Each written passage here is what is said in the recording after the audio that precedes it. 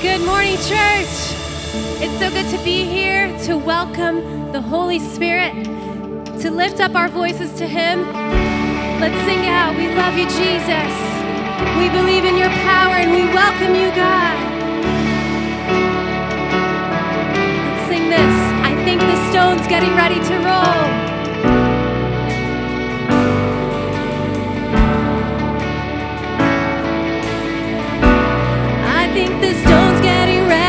your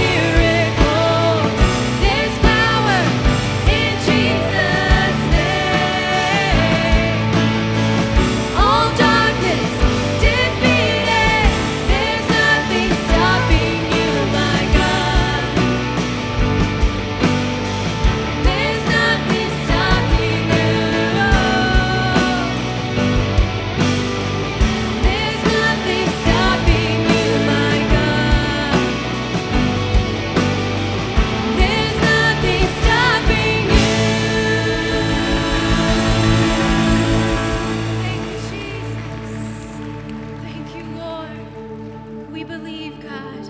We believe in your power and what you can do, Jesus. God, we believe that when you come into the room, the atmosphere changes. Church, He is here this morning. Open your hearts.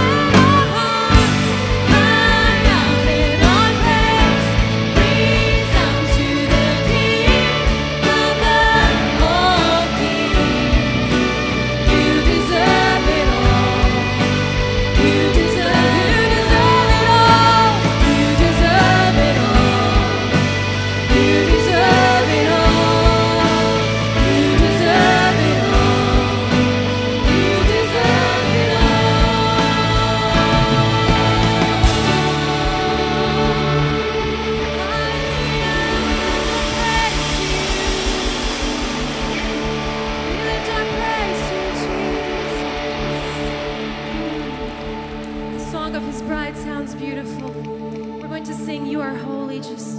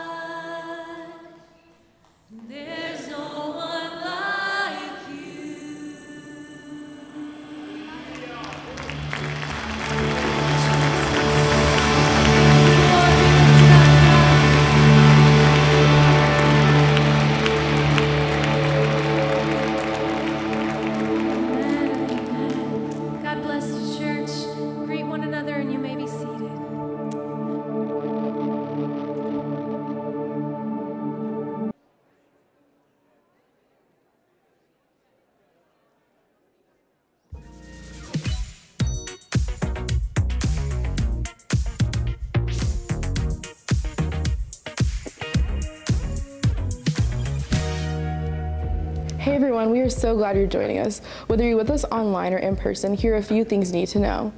There are a lot of great things happening at harvest time. Here are a few ways you can get involved right now. To check out all things that are going on, scan the QR code or visit htchurch.com. If you'd like to give, you can visit us at htchurch.com, click on Give at the top of the page, or use our Realm Connect app to set up recurring giving, or give at any time using the Harvest Time offering envelopes. We have so many opportunities to believe, belong, and be light. For more information on all things Harvest Time, meet us at the Connect desk. We love you, Harvest Time, and have an amazing week. Bye. Howdy, Harvest Time.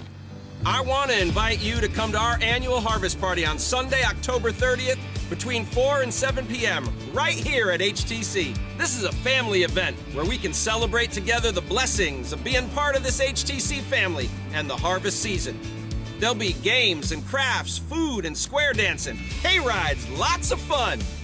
You don't need to be a kid to come, but you need to be young at heart. Yeehaw! We end the night with a trunk of treats for our children. If you're interested in hosting a trunk or helping out in any way, please scan the QR code on the screen or in your bulletin. When you come, please bring some cookies and cupcakes for our sweets table to share. So, harvest time, grab your cowboy boots and your hats, bring some friends, and get ready to dance. See you there.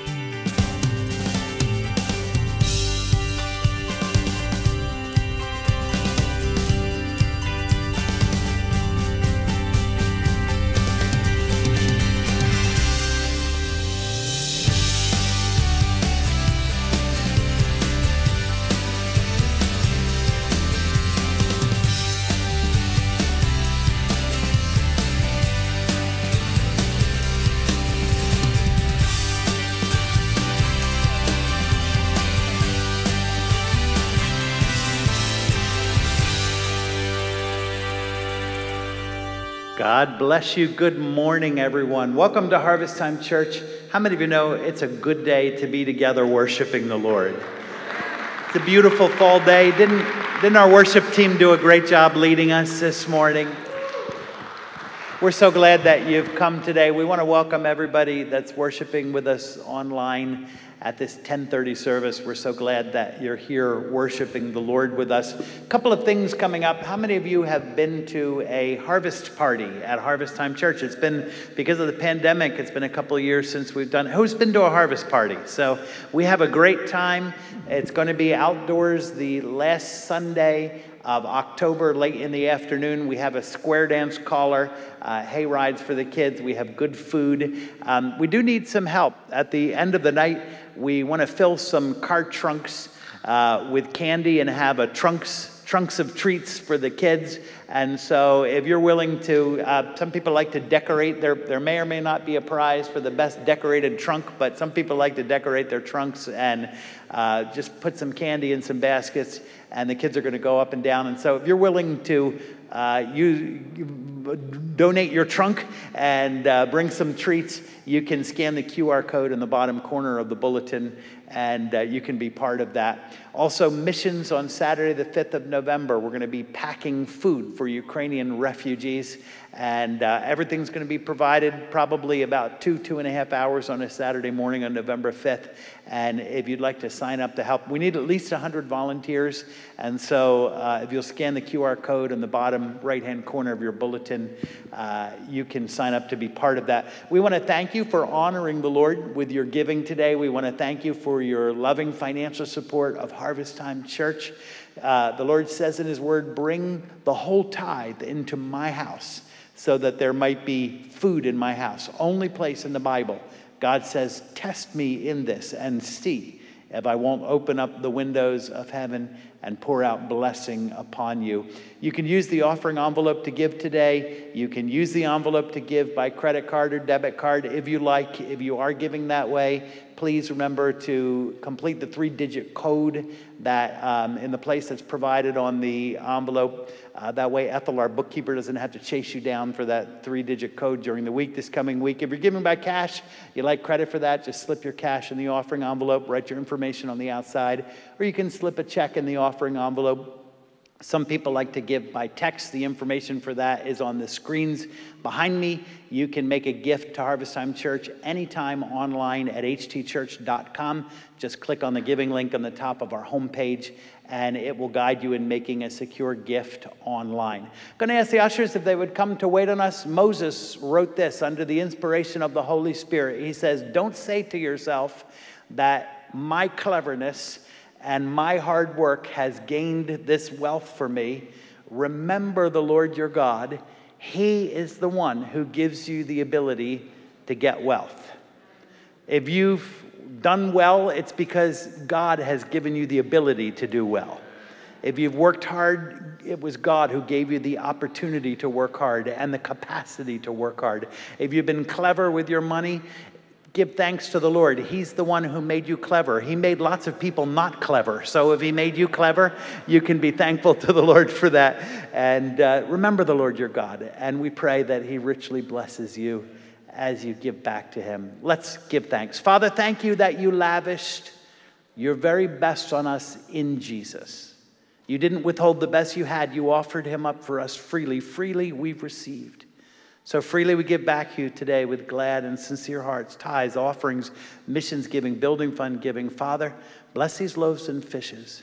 Cause them to be more than enough to meet the need of this your house and the work of your kingdom all around the world. Bless every giver in this offering today. Open the windows of heaven, just like you promised you would do. If your heart agrees with that, would you say amen and amen? God bless you while you give.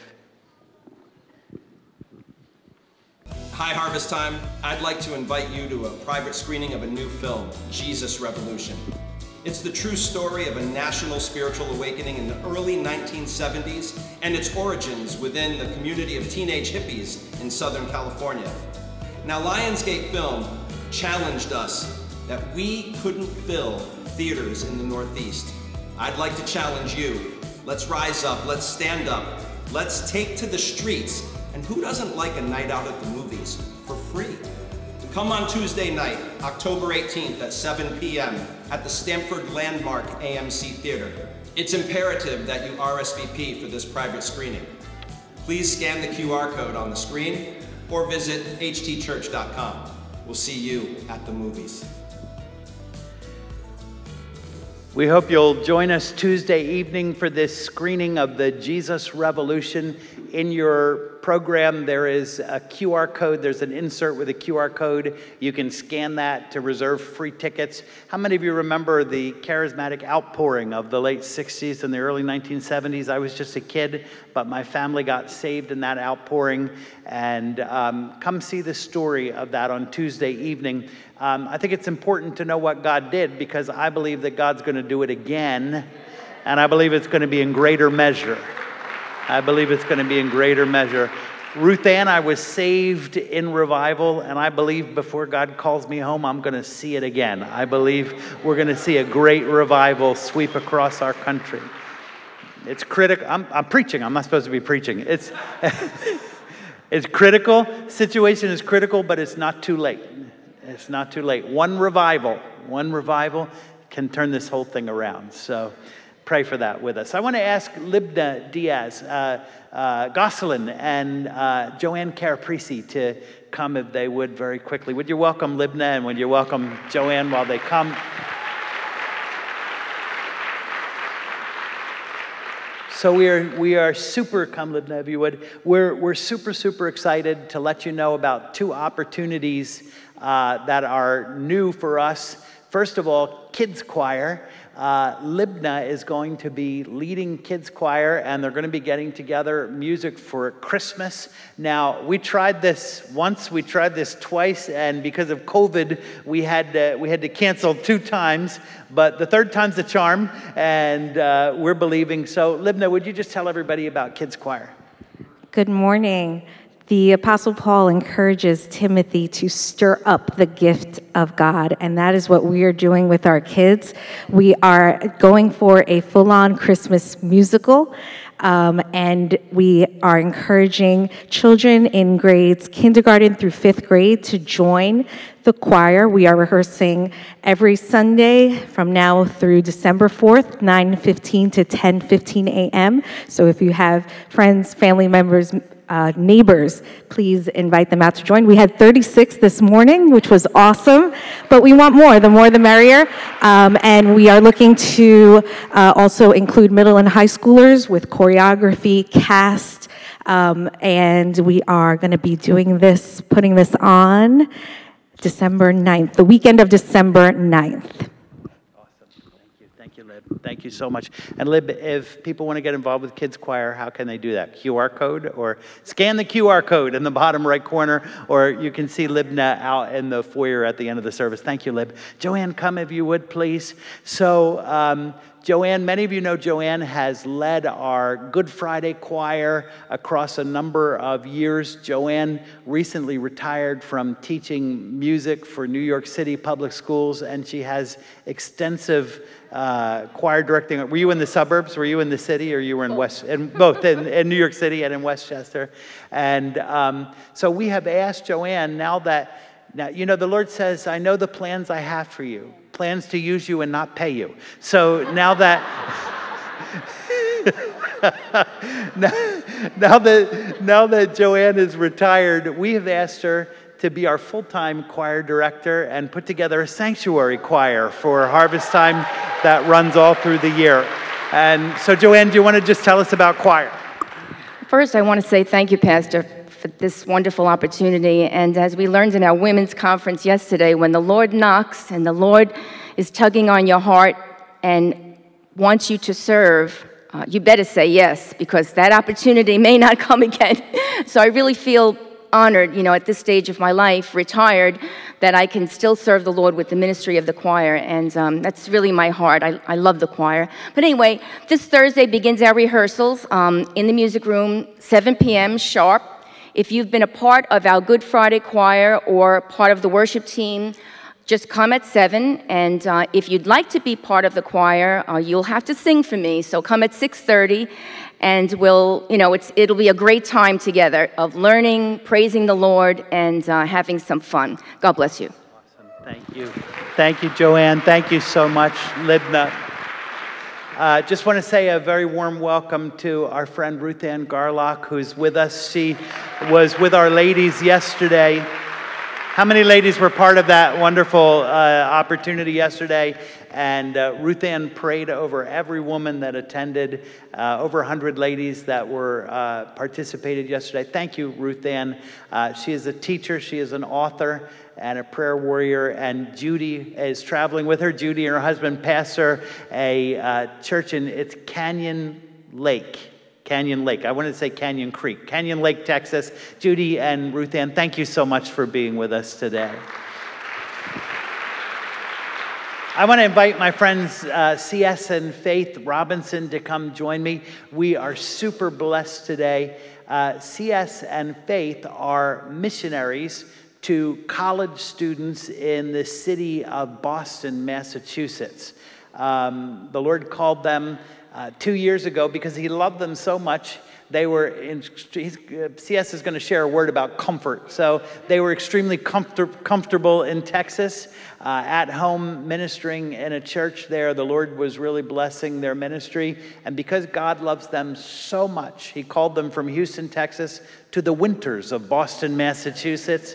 And, uh, but they're there overseeing campus ministry uh, for um, 35 different colleges in the city of Boston. CS is going to tell us a lot more about that. Um, I do want to let you know, I, I forgot to do this in the first service. At the end of the service today, they're missionaries. They are raising support for the work. So here's the beautiful thing when God calls you to mission work, not only do you have to give everything up and say yes, but then you have to raise your own support to go do the missions work. And so they're raising support, and we're going to have a chance to share in an offering and bless them at the end.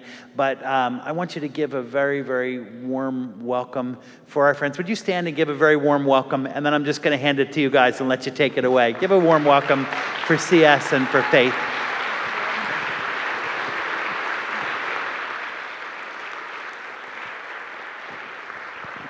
Good morning, church. It's an honor to be here worshiping with you this morning. We have had a blast the last couple of years getting to know New England, learning what snow is and how to live in it. Um, we're honored that the Lord called us a few years ago from this small Texas town called Huntsville. It's just north of Houston, where we had been serving for a number of years with Chi Alpha and seeing just generations of students won to the Lord and um, becoming disciple makers, um, going into different realms in the marketplace, into campus ministry, church ministry, and to the ends of the and to the ends of the world.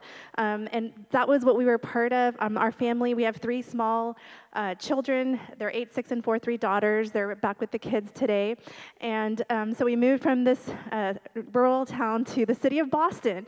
And um, it's amazing how, uh, you know, I, I was in Huntsville, I did my undergrad there. Um, it was just about 20 years, and the Lord transplanted us. And um, I was just so amazed how the Lord lifted one burden from one place and then put a new burden in our heart for a completely different place. And so we've just see, been able to just see what God is already beginning to do, and, and so honored to be a part of the work in Boston. Thank you for having us this morning.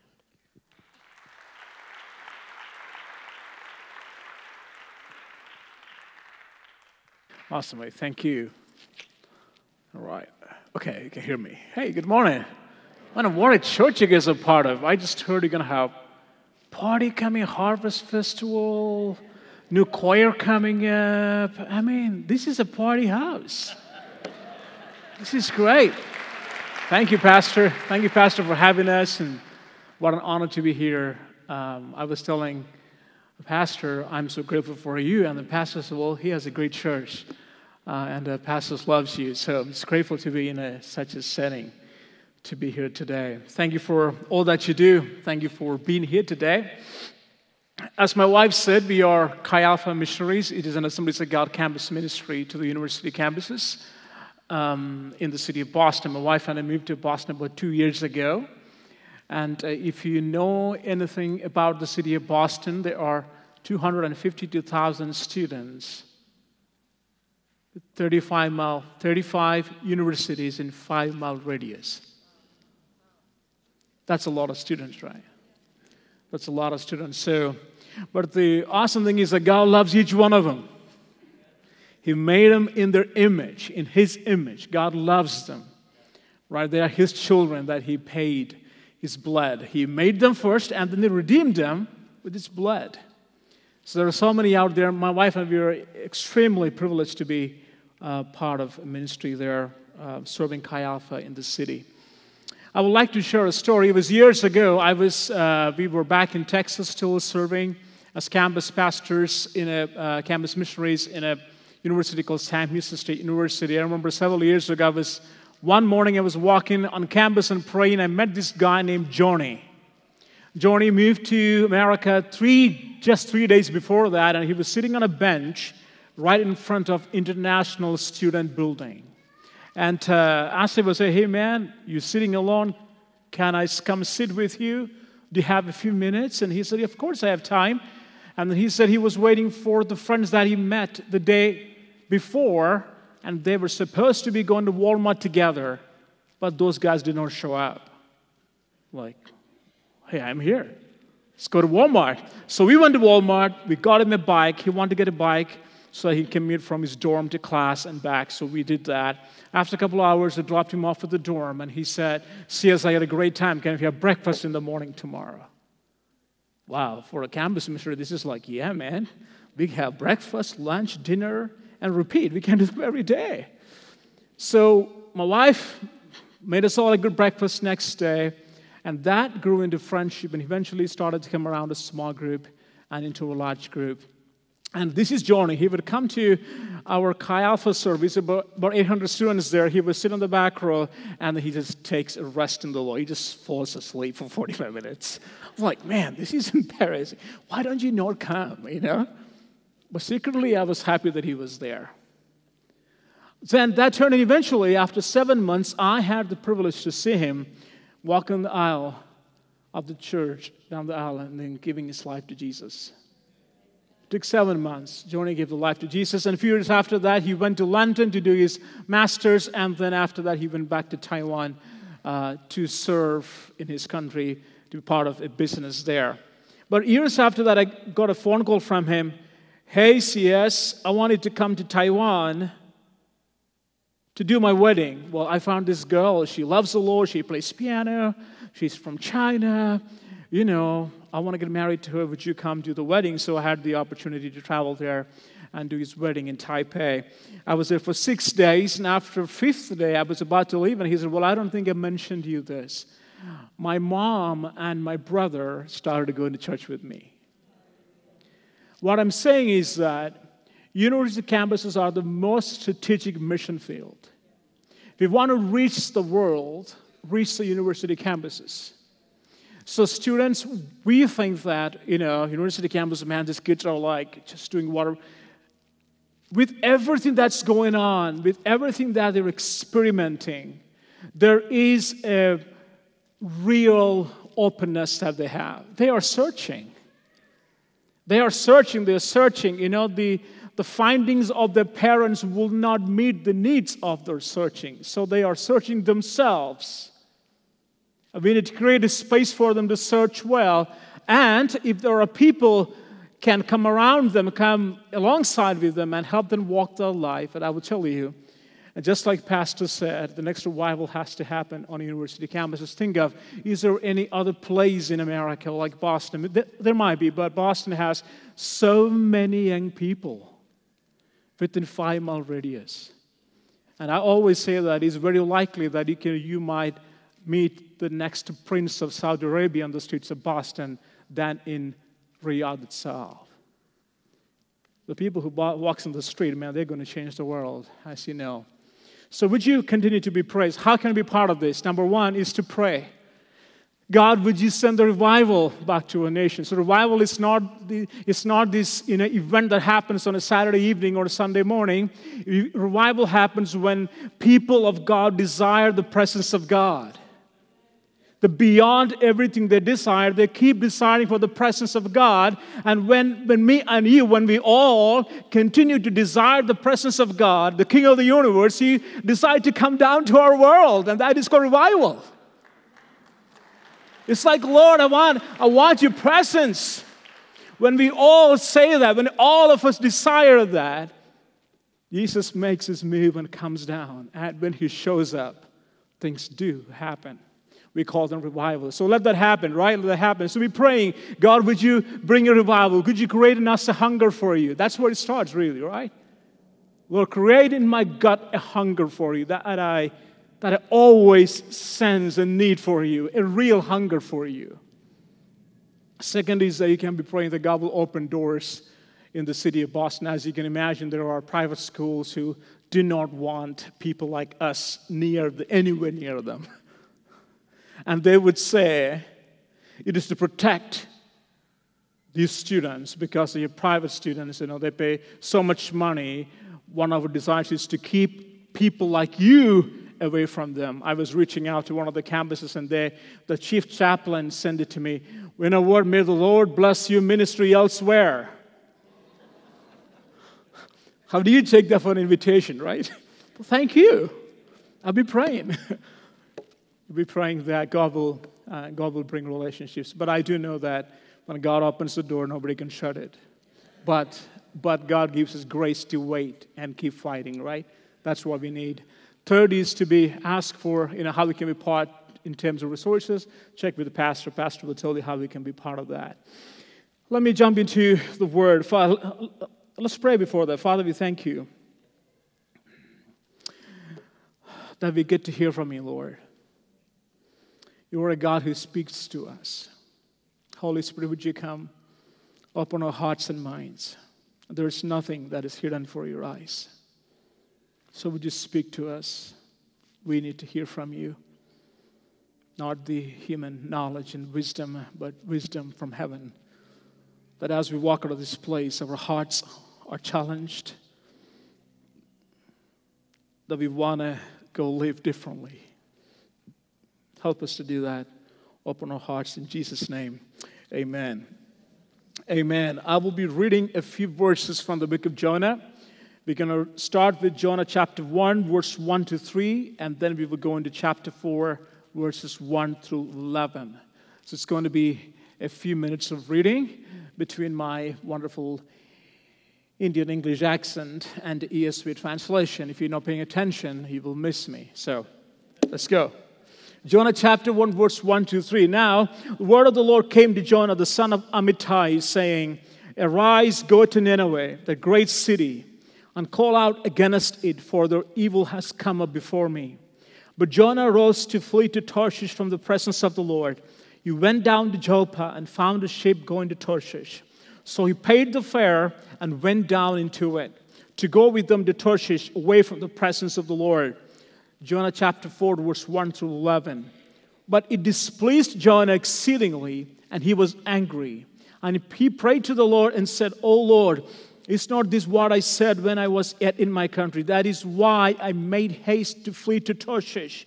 For I knew that you are a gracious God and merciful, slow to anger, and abounding in steadfast love, and relenting from disaster. Therefore, now, O Lord, please take my life from me, for it is better for me to die than to live. And the Lord said, Do you do well to be angry? Jonah went out of the city and sat to the east of the city and made a booth for himself there. He sat under it in the shade till he should see what would become of the city. Now the Lord God appointed a plant and made it come up over Jonah, and it might be a shade over his head, so save him from his discomfort.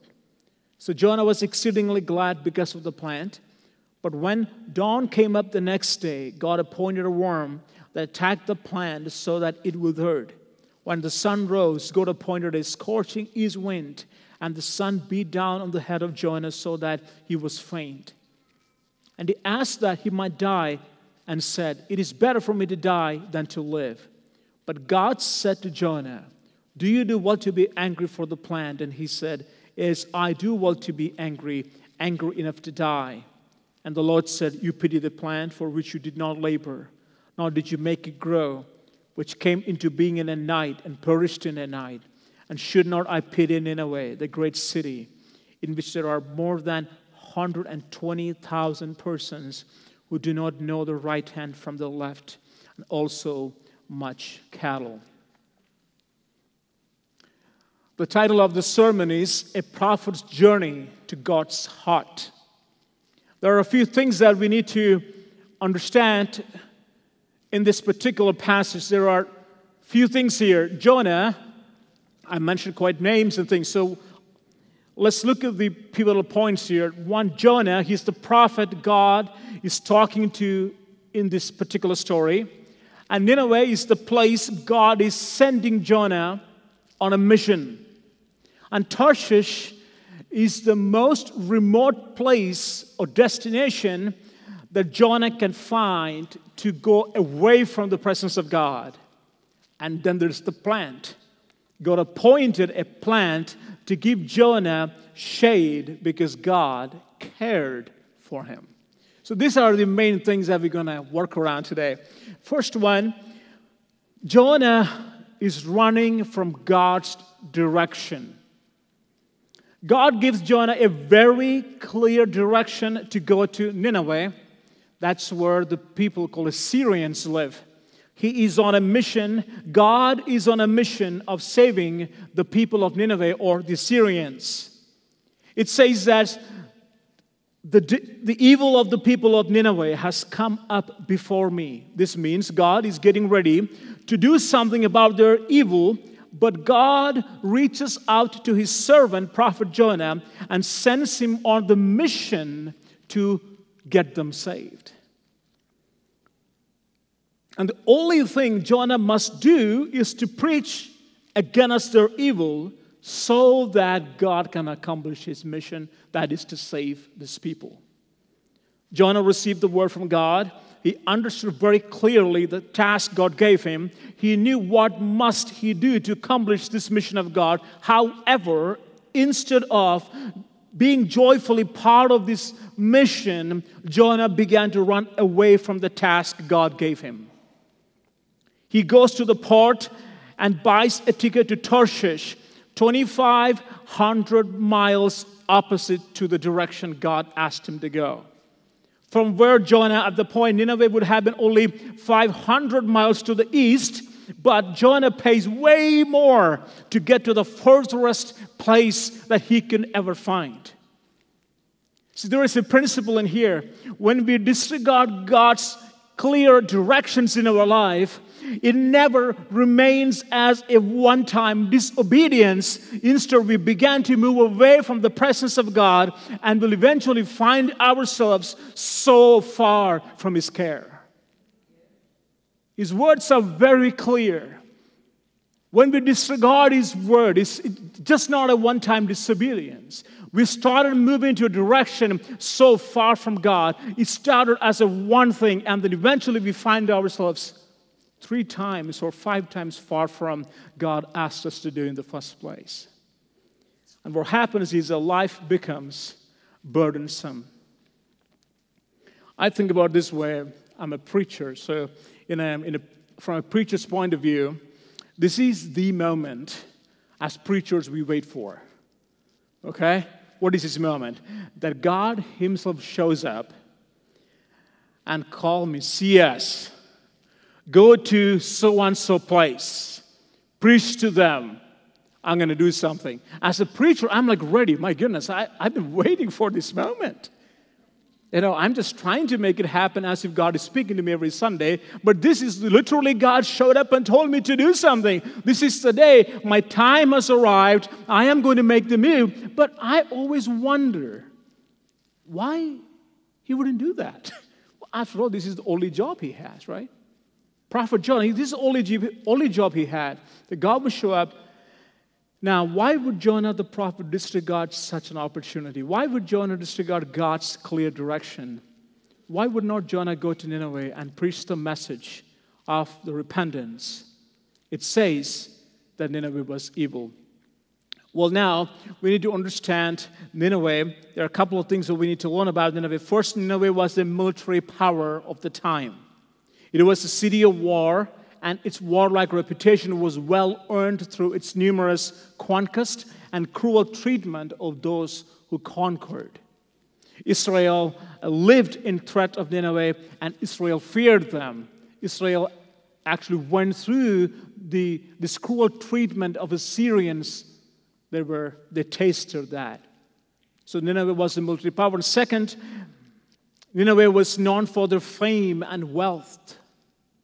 And thirdly, Nineveh was a place of idolatry and sexual perversion. It was famous for its huge library and two temples dedicated to Ishtar, the goddess of war and love. So, this is such a messy place. It's a place that, you know, no prophet at the time, it, it seems that Jonah didn't want to go there. And you would wonder why it's the case. In short, Nineveh was a city of evil and well deserving of God's wrath. And Jonah did not want them to escape the anger of God. Jonah wanted them to pay the price for their evil. Simply said, Jonah hated them.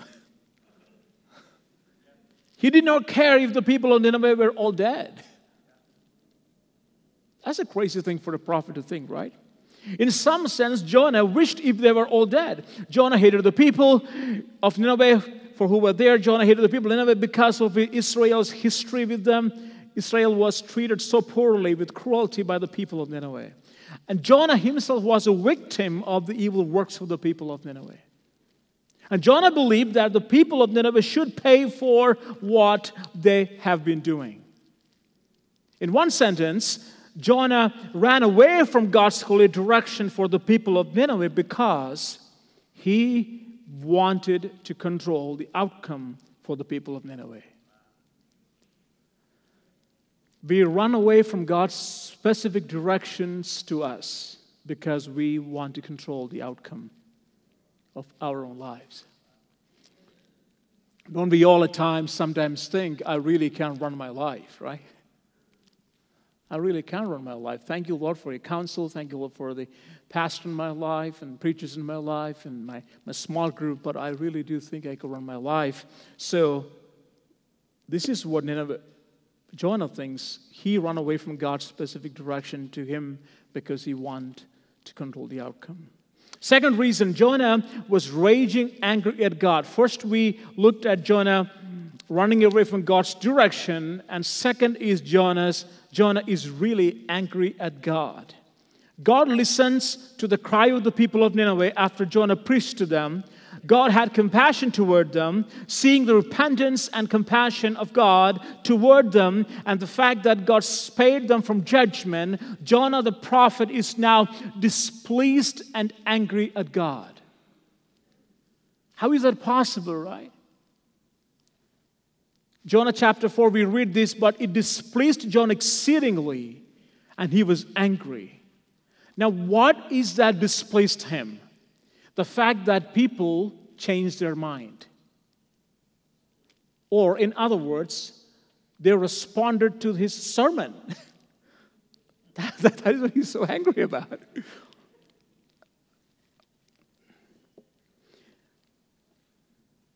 It says that, Oh Lord, is not this what I said when I was yet in my country? That is why I made haste to flee to Tarshish.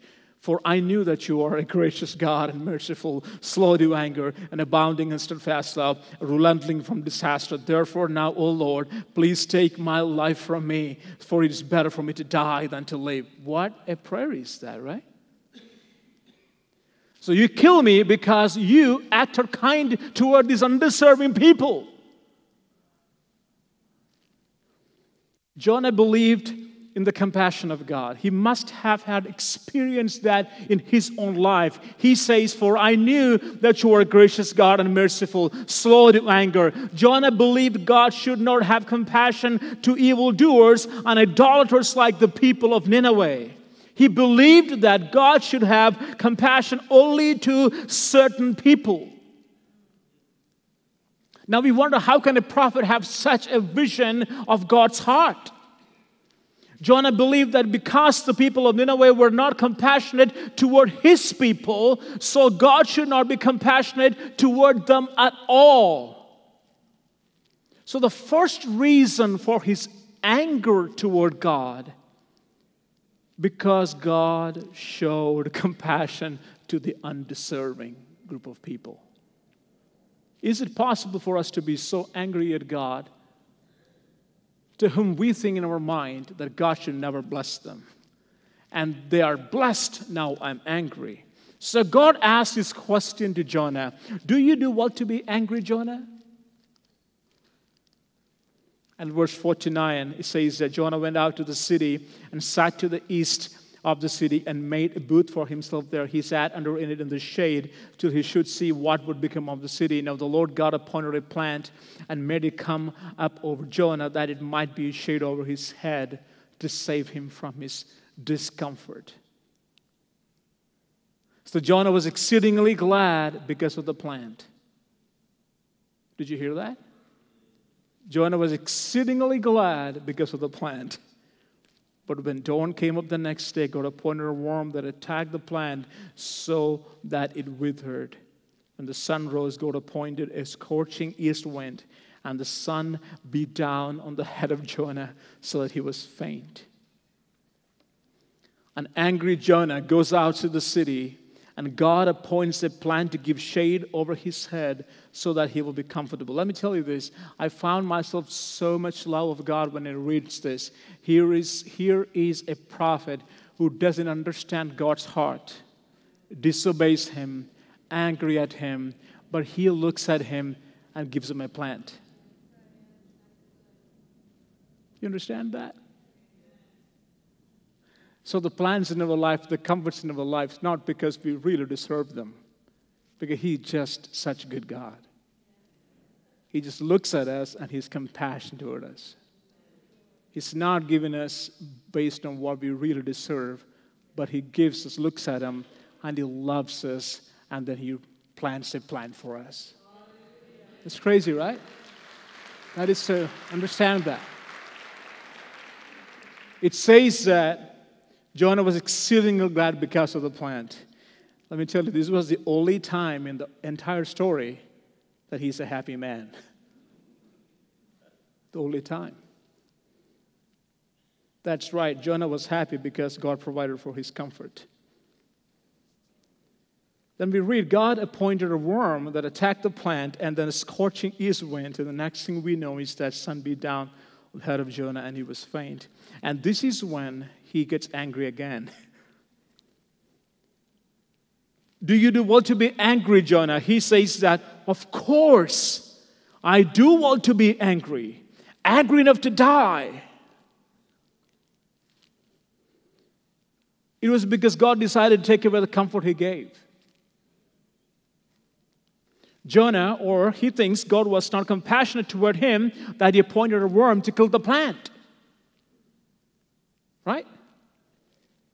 So, second reason Jonah is displeased and angry at God because God decided to take away the comfort he gave him. The first time he was angry because God loved a, peop- a group of people that he doesn't agree with. And second time he's angry, God took the plant that God planted. That's crazy, right? On one side, he's angry at God because God showed compassion toward a people that deserve severe judgment.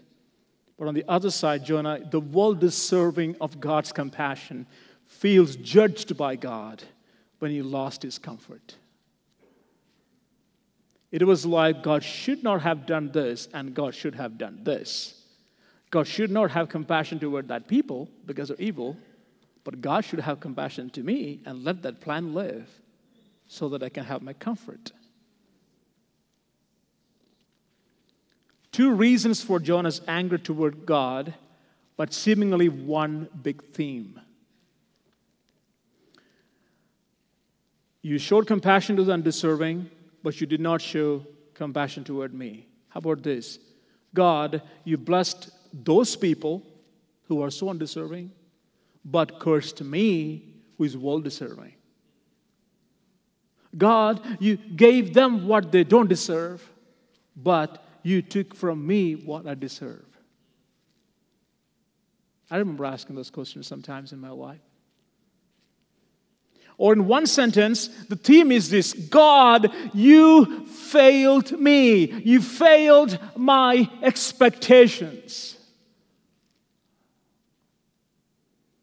Jonah the prophet is so angry at God because God, you failed me. You failed my expectations.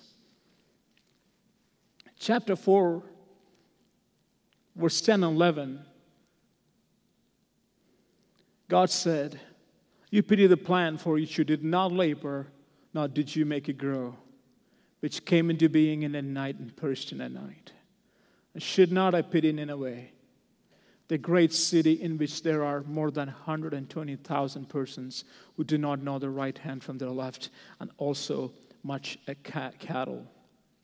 This is amazing. My question is this Can a prophet still serve as a prophet without knowing the heart of God?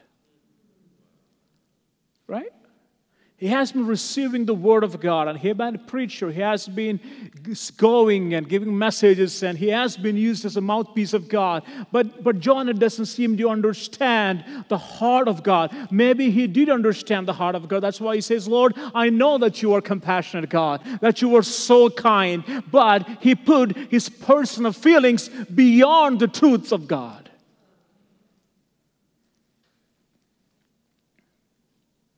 See, God is showing Jonah his own heart, or maybe God is giving Jonah a time to repent. right? He says to Jonah, You pity the plant that you did not labor, now did you, you did make it grow. Should I not pity these people that I made in my image? Say, my pastor always says that, uh, he always said this, you know, there is something about when you're children play together and you are sitting in the living room, but you can hear them laughing together. Somehow you feel like, wow, my kids are loving one another. They're having so much fun. There is something about it, which I can actually say that now. I do. You know, a lot of the time they are like, yeah, it's like fighting each other. But every once in a while, no, majority of the times they're like giggly and funny and laughing. You're like, Faith and I are like, hmm, that's fun to hear that sound. So when God looks at his people, there is no undeserving people, undeserving people. We all are equally undeserving. We all are equally undeserving. It's all his grace. Jonah doesn't seem to understand that. Jonah think we are the people of Israel. God, why would you ever be gracious to them like the way you're gracious to me? After all, what they have done to us.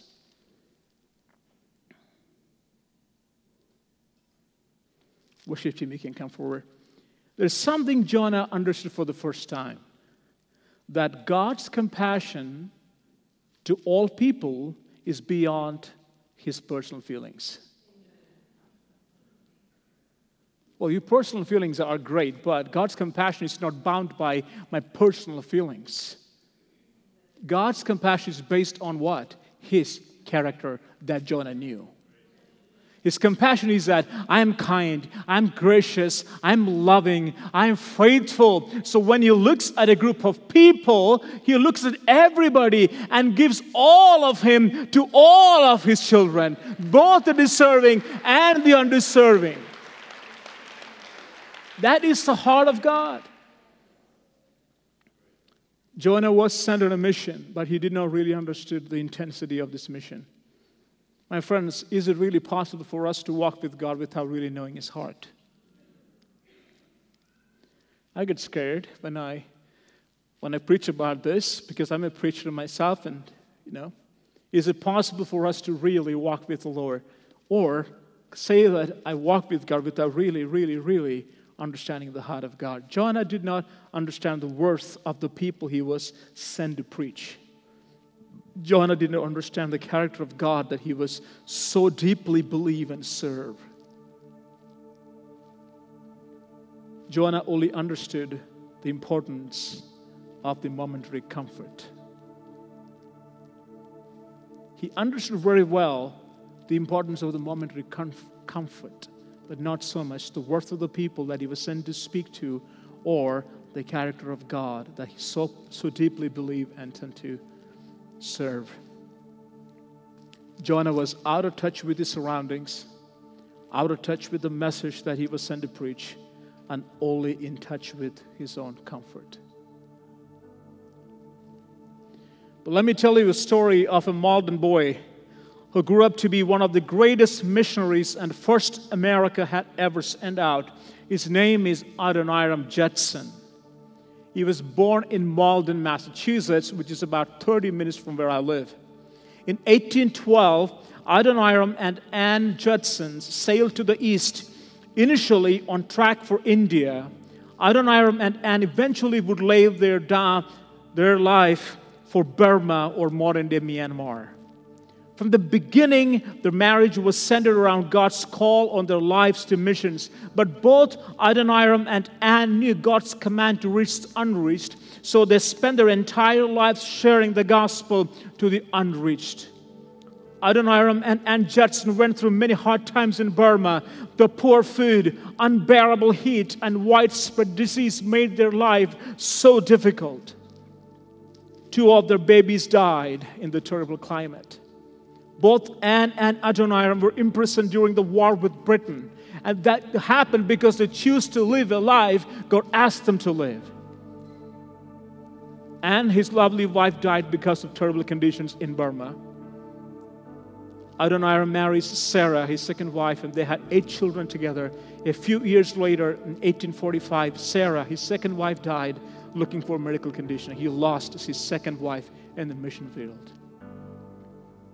when Adoniram Judson died in 1850, there were 7,000 baptized believers, 63 Christian congregations, and 163 missionaries in Burma. To this day, there are 100. To this day, over 150 years later, his Burmese Bible translation is still in use. Adoniram Judson was buried into the watery depths of the Bay of Bengal in India. Adoniram Judson lived the opposite of what Jonah lived. He lived a life in touch with the message, in touch with the people, and out of touch with his own comfort. The mission of God starts by knowing what is dear to God's heart. And we live and partake in this mission of God by continuing to fight for what is dear to God's heart. Now, what is dear to God's heart? That is me and you and everybody that you see in Walmart, in your workplace, in your train stations, everywhere you go, God loves them. And that is the dearest thing that God has.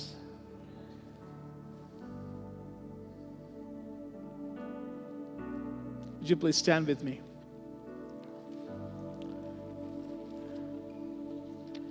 In Jonah, we see a man who runs away from God's direction because he had preconceived ideas about a group of people. Although he carried a message of repentance and understood the nature of God, he still had room in his heart to hate a group of people because of such cruel history. He wanted to control the destiny of these people whom he hated may ask you in a very personal way Are we running away from God's very clear direction that gave you, that God gave you? Is there anything that you're running away from? God asked you to do this. Maybe you don't want to do it because you want to control the outcome. But God is calling us today to Himself this morning. Same words that came to Jonah is coming to us this morning arise and go. Go to Jesus. Are you running away from a direction that God gave you personally regarding your workplace? Maybe the people that you saw in the workplace, the person that you know from your family that you have been praying about or praying for a long time, maybe somebody in the neighborhood, maybe some of somebody. Let me tell you, when God asks you to do something, He's not just send you to do it. When you make the move, He comes around and He walks with you. Isn't it amazing? When God asks you to do something, and you still they go figure it out, yes, no. When I obey Him and when, when I make the first step, He comes around me and He strengthens me and fills me with the Holy Spirit and He enables you to do that. But the thing is that you got to obey Him first. I got to make the move so that God can come alongside of me and do His mission. We don't have any mission, it's God's mission, right? This morning, Jesus is calling us to a life in touch with the message we carry, a life that reflects the character of God, and out of touch with only our own comfort. Father, we come to you this morning. We long for your presence in our lives, O Lord. We thank you that you never hide the weaknesses and the troubles of your children in the scriptures as we can learn from it. But you're interested in showing your heart and inviting people to it. So thank you for showing a heart this morning again. Would you make us a people who care for the people around us because you made them in your image and you died for them. Oh God, would you give us a burden for that? Would you fill our hearts with the deep desire for it that we will long to live and reflect your nature and character wherever we go, Lord? Forgive us of seeking our own comfort all the time. We thank you, Lord, for the work that you called us to do. You are so good. Thank you for loving us. We love you, Jesus. In Jesus' name, amen. Amen. Thank you. Thank you, Lord. We love you.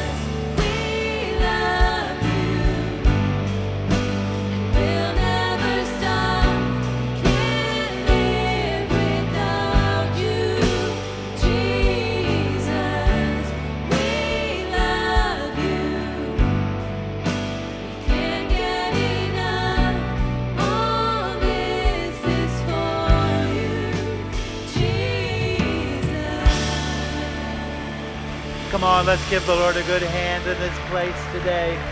Thank you, Lord. How many of you were just touched by that message that CS brought us?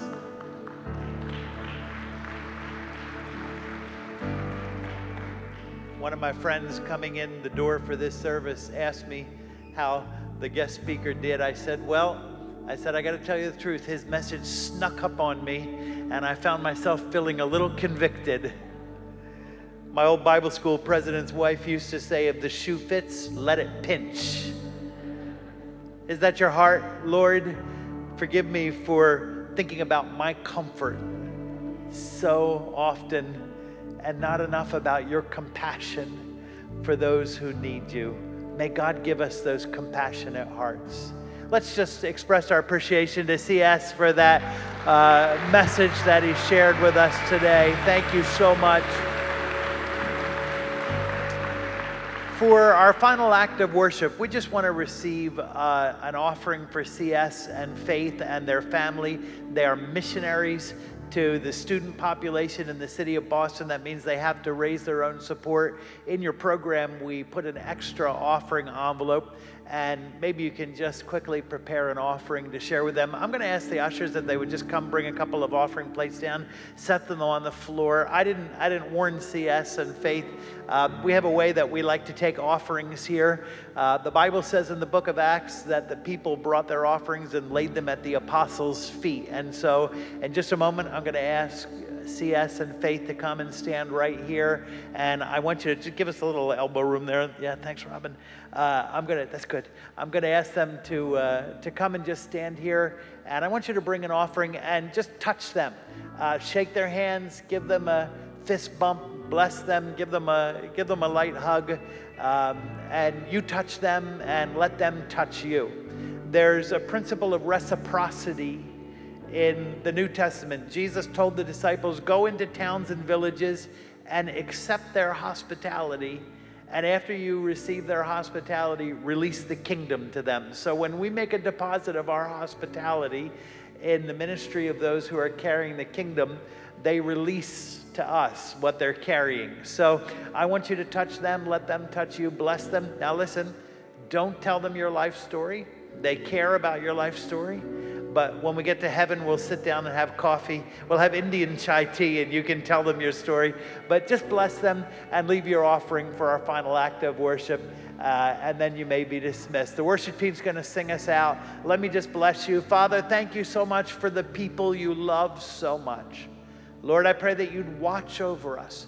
Lord, I pray during this coming week that the cloud of your presence would envelop us. I pray that your protection would surround us. I pray that your provision would accompany us. I pray that your providence would lead us and your peace encircle us until we come together again rejoicing. And everybody said, Amen and amen. God bless you, everybody. Bring an offering. Come see us in faith. Come stand here if you would.